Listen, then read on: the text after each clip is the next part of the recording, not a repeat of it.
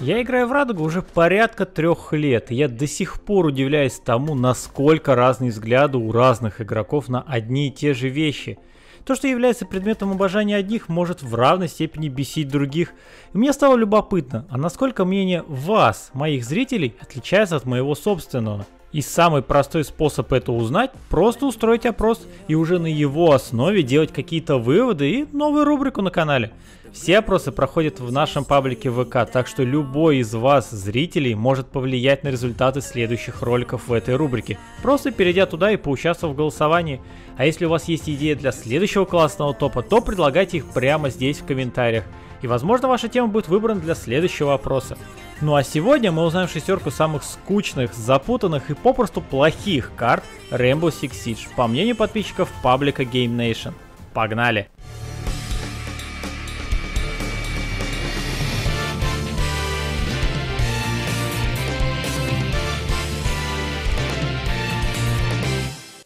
На шестом месте сегодня яхта. Самая первая карта добавлена в игру уже после релиза. Большая трехпалубная яхта, застрявшая где-то в северных льдах, пришла в Rainbow Six Siege вместе с канадскими оперативниками в сезоне Black Ice. И она хорошо отражает ранние карты Радуги, когда во главу угла ставились скорее классические антитеррористические сценарии, нежели геймплейно и балансно выверенные решения в левел-дизайне. Несмотря на свой достаточно большой размер и аж 4 играбельных этажа, яхта сильно напоминает другую транспортную карту, борт номер один – как и там, внутри помещения через всю карту тянется лишь один длинный коридор, от которого расходятся внутренние комнаты. На первых этажах имеются по два лестничных пролета и несколько дополнительных проходов, которые позволяют обходить противников сзади. Но на этом позитивные моменты карты и заканчиваются. По периметру всех этажей, кроме самого нижнего, снаружи тянутся длинные прямые проходы по палубам, почти без укрытий. В моменты, когда игроки пытаются перебежать из кормы в нос лодки, защитники часто их подлавливают на этих перебежках. Карта яхта в целом очень поощряет агрессивный стиль игры, и в защите очень часто атакующие страдают от агрессивных спанпиков.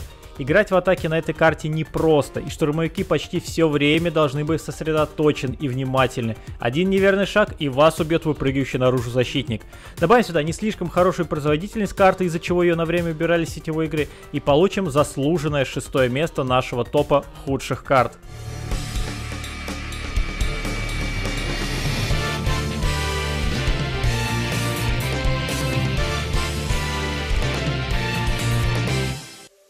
Изначально база Херефорд представляла себя совсем не то, во что мы играем сейчас. Одна из самых первых карт игры была геймплейным аналогом карты Дом, со слегка расширенной площадью и большей тактической составляющей.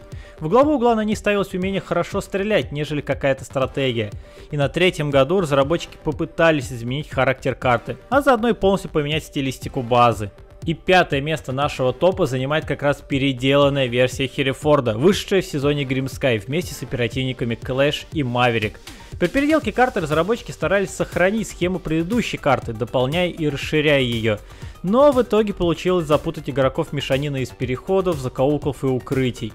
И если две лестницы пошли игре в защите и атаке на пользу, появился простор для маневра внутри помещений, то вот некоторая лабиринтность, присущая всем картам со времен Лунопарка и башни, игрокам не особо понравилась. Но все же основная претензия к обновленному Херефорду была даже не с точки зрения геймплея, угнетающая атмосфера промозглой осени. Свинцовые тучи и постоянный дождь делают игру на этой карте просто неприятной. И даже несмотря на то, что карта лишилась ночной версии, о чем так долго просили игроки, своей картинкой Херефорд отпугивает игроков. Поэтому пятое место, и мы движемся дальше.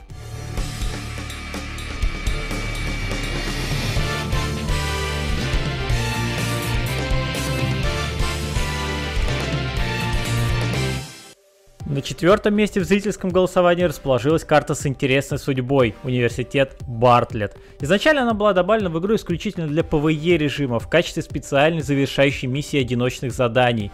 По сценарию на университет напала группа террористов с биологическим оружием, противостоять которой мы в составе пяти человек и были должны. Сложности добавляло то, что по всей карте был распылен тот самый отравляющий газ террористов, который затруднял видимость. И помимо всего прочего, проходить эту миссию предстояло в отряде с четырьмя рандомными живыми игроками. Впоследствии разработчиков просто завалили просьбами добавить эту карту в PvP режим в качестве новой локации. И в межсезонном обновлении операции Red Crow университет Бартлетт был добавлен в сетевые режимы. Обрадовавшись новой карте, игроки сначала радовались, но чем больше времени они проводили в стенах университета, тем больше разочаровывались в нем. С удалением мешающего видимости газа и переделкой карты под PvP стали видны огрехи в левел-дизайне, которые приводили к достаточно примитивному геймплею. Несмотря на большие размеры, Бартлет не представлял большого простора для придумывания тактик, и часто раунды проходили по одному и тому же сценарию. Игрокам это сильно не нравилось, и разработчики спустя 9 месяцев решили убрать карту из рейтингового режима, оставив Бартлет только в казуальных играх. А уже во время операции Химера университет и вовсе был исключен из списка сетевых игр, оставшись только в антитерроре, одиночных миссиях и пользовательских играх. И в отличие от яхты и фавелы, Бартлет до сих пор не вернули в казуальный режим. А зная планы разработчиков по переделке карт в четвертом году, велика вероятность, что и вплоть до пятого года Бартлет так и останется эксклюзивной картой PvE режима антитеррор. За это и соответствующее четвертое место.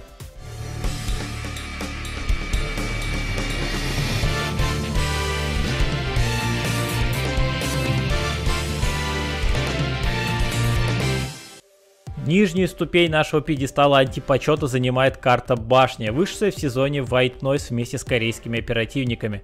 Карта представляет из себя несколько этажей небоскреба в центре Сеула. Основная часть штурма проходит на двух этажах комплекса, доступных обеим сторонам.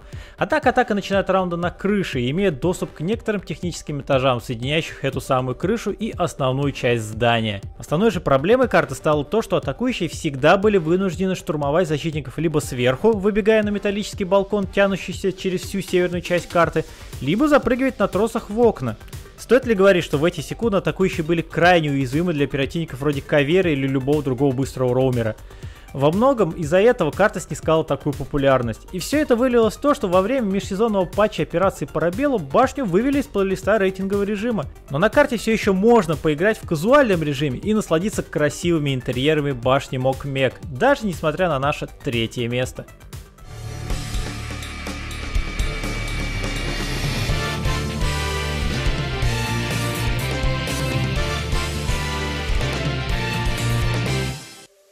Фавелла. Как же много хочется сказать плохого про эту карту, но тогда мы выйдем из формата, так что как-нибудь в следующий раз. Карта Фавела, высшая вместе с бразильскими оперативниками в операции Скулурен, представляет собой некую кальку с беднейших районов Рио-де-Жанейро. И пусть реальные фавелы с игровыми не имеют почти ничего общего, но разработчики все же постарались передать атмосферу таких мест. И местами это действительно получилось. Карта Фавела вышла многоуровневой, со специальными переходами между крыш домов и с каким-то запредельным количеством деревянных стен. Практически любую внешнюю стену здания можно вскрыть всеми доступными способами, из-за чего игра в защите превращается в сущий ад. Атакующие стреляют с огромных расстояний, превращая стены в решето. Переходы между зданиями очень длинные и требуют от защитника выбегания наружу, где его с легкостью встретит один из атакующих. Помимо этого у карты проглядываются худшие черты карт яхта и борт номер один, у которых один центральный проход соединяет все оставшиеся комнаты. Вот и получается, что на точке сидеть нельзя, потому что все деревянное закрыть не получится, банально потому что металла не хватит. Ромить на ней тоже неудобно, особенно если вы защищаете верхний этаж и не имеете возможность перебежать из одной части здания в другую. Посмотрев на все это и признав ошибки с картой, на которой к тому же очень сильно просаживался фреймрейт, разработчики удалили фавелу из всех сетевых режимов по аналогии с яхтой. Но внезапно для многих эту карту вернули в казуальный режим во время операции Grim Sky без каких-либо переделок. Так что за плохой геймплей и производительность фавела получает от вас второе место. Как я уже говорил, все места топа формируются исходя из вашего голосования. Прямо сейчас в нашем паблике ВК проходит новое голосование, в котором вы тоже можете поучаствовать и стать теми, кто решит судьбу следующего топа. Ну а чтобы еще немного растянуть интригу и оживить обсуждение в комментариях, я вставлю кусочек своего субъективного мнения по поводу самых плохих карт радуги.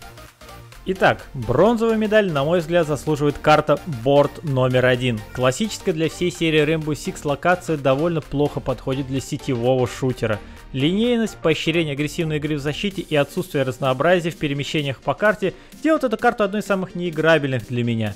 Тем более удивительно для меня, что о ней мало кто отзывается плохо, да так, что она даже не попала в основной топ. Но не дать бронзу я ей просто не могу.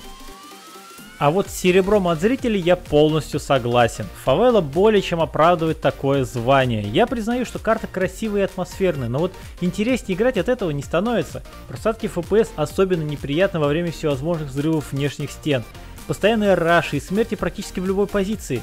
Все дошло до того, что мы на канале устраиваем регулярные фавела бунты, играя на этой карте исключительно за рекрутов, независимо от стороны. Потому что играть на серьезных щах тут просто невыносимо. И непонятно, зачем вообще было возвращать карту в таком виде. Так что если вы, как и я, тоже не любите фавелы, то присоединяйтесь к нашему бунту и да здравствуют рекруты! И, наконец, золото из моих рук уходит в ненавистный мною университет Бартлетт. Карта, которой в данный момент нет ни в одном сетевом режиме, оставила глубокий шрам в моем сердце. И исключительно с отрицательной стороны. Ужасный фасад здания, респаун на котором делает из вас отличную мишень для любого защитника, и малое количество разрушаемых окон задней части здания, а также полное отсутствие возможности как-то удивить защитников внезапным врывом внутрь, делают Бартлетт одной из самых неприятных локаций на данный момент. И я очень надеюсь, что она никогда не вернется в режим PvP в текущем состоянии. Впрочем, никогда не говори никогда. Ну, да ладно, довольно субъективности, пора узнать, на какой же карте хуже всего играть по мнению зрителей канала Game Nation.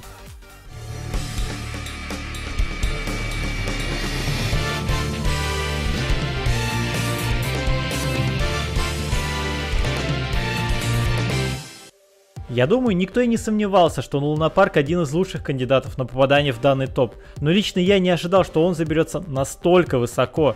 Китайский парк развлечений, который был добавлен в операции Blood Orchid, имеет сразу ряд недостатков, за которые часть игроков карту возненавидели, а другие смиренно их терпят. Особенностью карты стало зональное деление на 4 тематических зоны. И эти тематические зоны настолько насыщены разными укрытиями, переходами и подлыми местами, что игроки часто путаются в проходах и плутают по карте в поисках какого-то знакомого ориентира.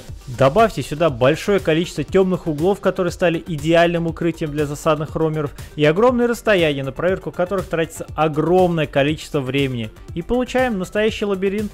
Но даже не раздолье для ромеров смущает игроков, как это раздолье в рейтинговом быстром режиме. И действительно, если играть просто для удовольствия, то карта вполне себе играбельная, хоть и не вызывает какого-то особого удовольствия. Но как только становится вопрос результата, то игрокам хотелось бы играть на максимально сбалансированных и честных картах, к коим, к сожалению, причислить лунопарк ну никак не получается. Поэтому китайская карта со спорными дизайнерскими решениями становится победителем нашего сегодняшнего топа. Поздравляем! Ну или нет. А кого лично вы бы поставили на первое место? Какая карта заставляет вас грустить? Делитесь своими мнениями в комментариях.